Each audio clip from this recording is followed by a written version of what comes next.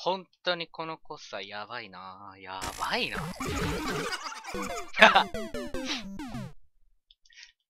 やらかした。このコースはやばい。このコースはやばい。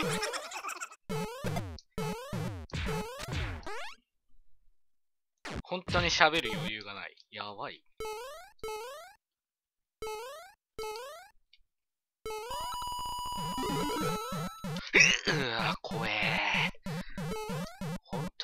回地獄だわ。習慣がないんで。一回ミスっただけでもう最初からやり直しなんで。まだこの辺で死ぬんだったらね、全然いいっすわ。この辺で死ぬなら全く問題ないんだけど。中盤超えたあたりから死ぬのが一番嫌だ。はあぶねえ。もうこの辺から死にたくないですね、できればね。でもここら辺でもまだマシかな。この辺ならまだマシ。全然マシ。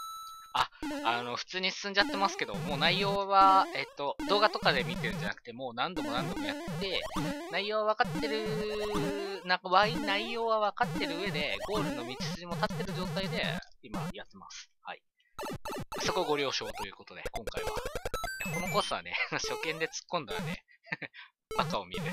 痛い目を見るのはこっちなんでね。ある程度予習はさせてもらいました。とてもじゃないけど、とてもじゃないけど、もう1時間でクリアできるようなコースではないんで。お動画見て、やり方分かってしまえばもう、1時間でのクリアは全く問題ないかなとは思います。はい。よいしょ。あーしまったさあ、鬼畜1行きましょうか。まあでもさほど鬼畜ってあれでもないんだけど、どっちかっていうとこっちの方が嫌なのかな、俺は。で、ここはもう、運ゲー。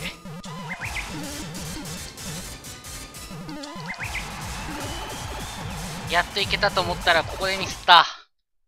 まあ先だけ見てもらおうかな、そしたら。こんな感じ、多分時間が間に合わない。ちょっと、は、はしゃぎすぎた。だ本当にドクンドクンって感じ。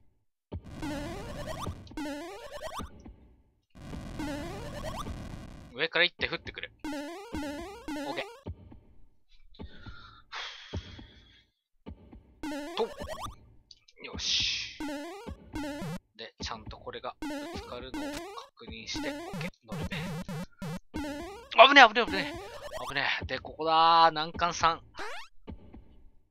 自分はここがすごい苦手。本当に苦手。音符なんですよね。ふう、集中。よーく見て。はいよーし、オッケーよーし、来た難関4来ました。ここ突破すると割とクリア。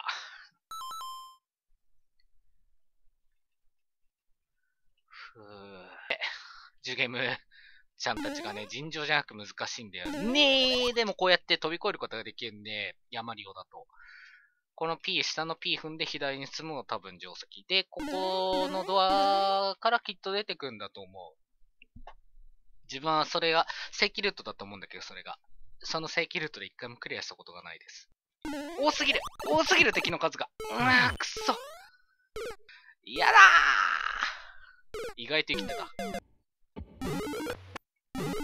なあもうやだよもうやだもうやだあーダメかよいしょなんで？ここだいや、なんかいっぱいいたうわー結局ダメだったまずいっすね。あのね、まあ、行けばわかる。見せるわ。あ、見せれませんでした。いやー、待って待って待って待って、もうファイヤー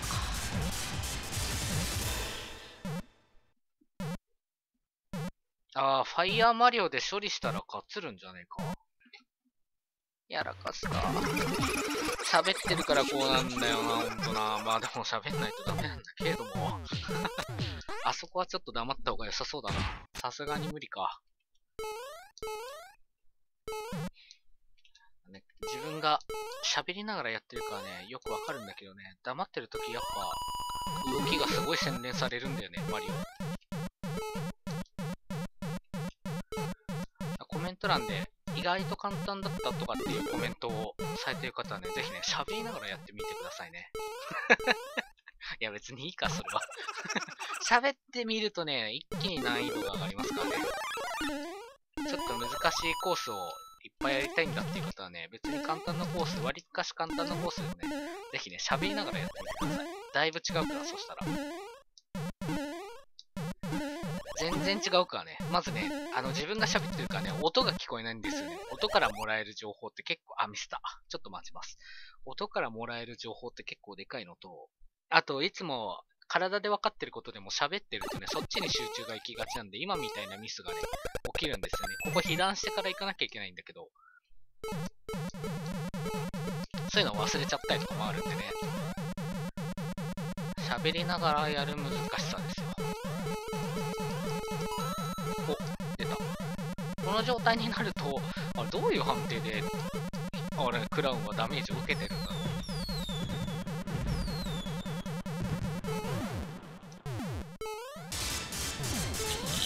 よいしょいい。ドン。この BGM がうっとしいんで倒しまーす。あね上のクラウンかなんかの上のファイヤー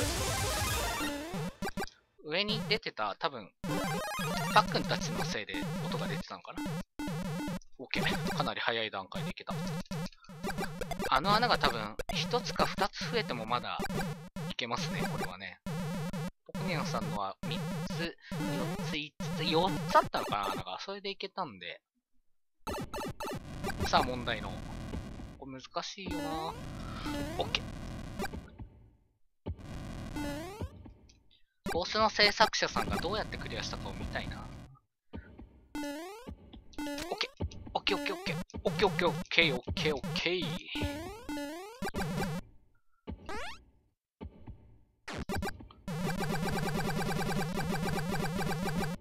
ここ超集中だな、やべえな。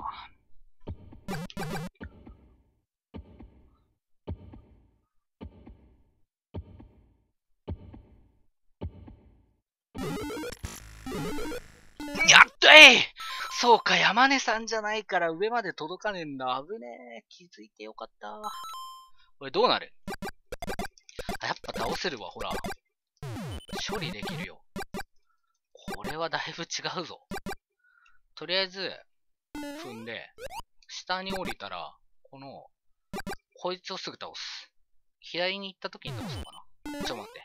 こいつ倒しておいて、次行きます。ここで行く。OK。で、乗る。勝ったじゃん。ほら。うわ、なんだこれ。くっそ簡単じゃねえか。むしろ、こういけるもんね。ほら。なんだこれ。超簡単。一気に難易度下がったぞ。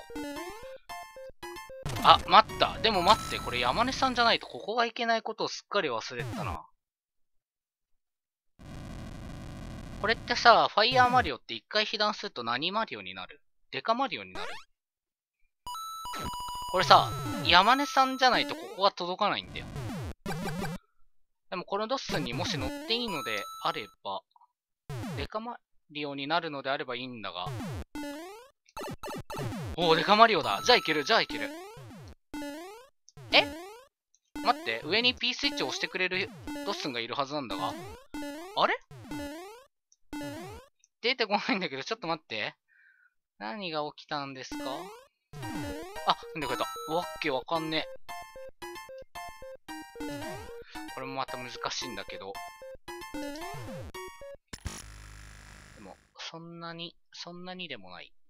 今までやってきたのに比べればそんなでもない。OK。はいよし、OK。山根さんじゃないからこれちょっと難しそうだな。高さは、踏める高さ。OK。しよしよし。ゴール近いっす。ゴール近いっす。もう、もうゴールの手前まで来てる。これ絶対決めたい、これで。これで決めないとちょっと、心が折れそう。山根さんじゃないから、ここら辺から行ってもいいんじゃないかな。ほい。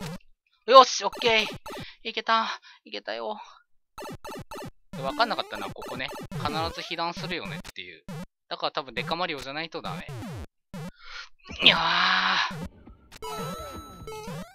怖っ。あ、怖っ。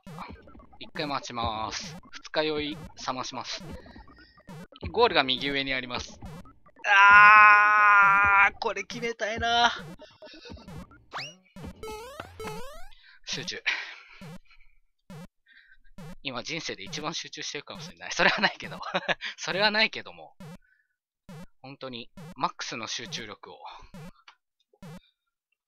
ふう。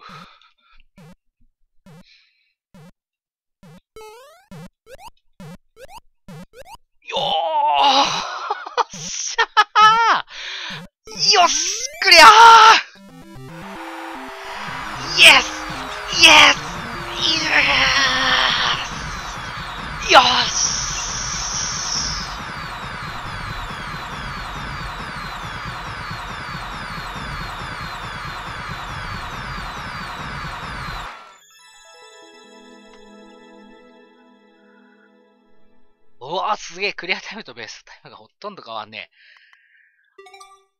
え。うわーやったーお疲れ俺お疲れこれ、ぜひ皆さんも遊んでみてください。